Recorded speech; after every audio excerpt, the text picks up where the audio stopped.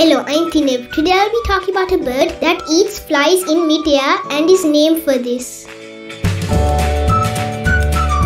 The Asian brown flycatcher. The Asian brown flycatcher is a small passerine bird in the flycatcher family. Breeds in Japan, eastern Siberia and the Himalayas. It is migratory and winters tropical southern Asia from southern India and Sri Lanka east to Indonesia.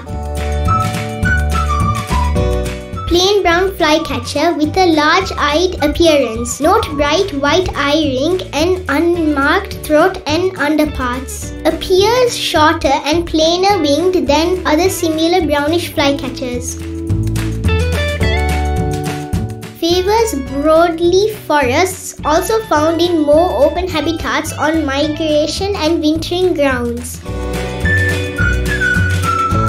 The correct characteristics for this species is disputed. Their calls are like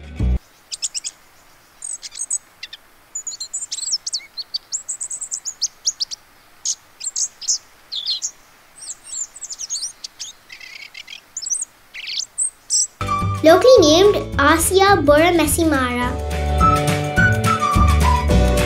I have not seen the Asian brown flycatcher.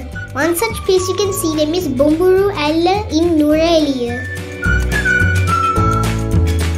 These are some of the pictures of our jungle trek to to see the Bomburu Ella waterfalls.